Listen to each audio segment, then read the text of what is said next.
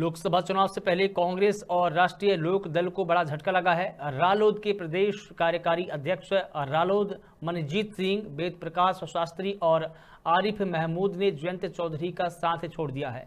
इन सभी नेताओं ने भारतीय जनता पार्टी का दामन थाम लिया है। रालोद के नेताओं के अलावा पूर्व सांसद बनवारी लाल कंछल पंचायत राज अधिकारी से सेवानिवृत्त उमा शंकर मिश्रा और कांग्रेस के अवधेश कुमार सिंह ने भी बीजेपी ज्वाइन की है। इन सभी नेताओं को यूपी के डिप्यूटी सीएम ब्रिजेश पाठक ने बीजेपी ज्वाइन कराई।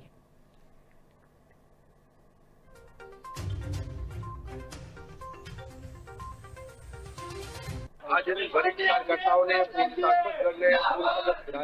ने जिला पंचायत के अध्यक्ष ने पार्टी ज्वाइन किया है। मैं हृदय से सभी का स्वागत करता हूँ, अभिनंदन करता हूँ एक विशाल परिवार का सदस्य बनने पर। उन्हें बहुत बहुत बधाई देता हूँ।